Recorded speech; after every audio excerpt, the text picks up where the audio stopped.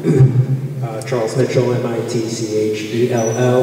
Um, a resident of Providence, um, a member of Rhode Island Socialists. Um, I would uh, like to urge that the commission uh, reject the request for a rate increase, and I would also urge that the commission uh, implement the percentage income payment plan. Um, I mean, I would, I'd certainly like to register my discontent, um, but I don't have a lot to say that other people haven't already said. Uh, I mean, we know what this is going to do. Uh, people, working people already can't afford all of their bills largely. Other people have spoken to their personal experiences on that. Um, this will drive people into homelessness. Um, and, uh, you know, I think the percentage income payment plan is uh, the least you could do. Um, it's a, um, you know, it's proven that it works elsewhere. And um,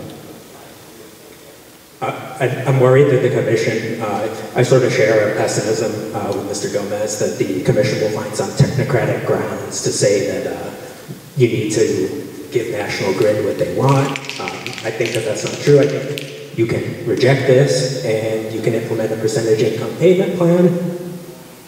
And then from there, um, it may not be within the Commission's power to move Rhode Island towards publicly owned utility, but that's absolutely necessary. Uh, almost, almost everyone who's come up here has spoken about extremely low levels of trust, um, somewhat in the commission, because the commission usually does what National Grid asks for, um, but also low levels of trust with National Grid itself. Um, the low, that mistrust is extremely well placed. Um, you know, the profit motive just shouldn't be anywhere near electric and gas requirements.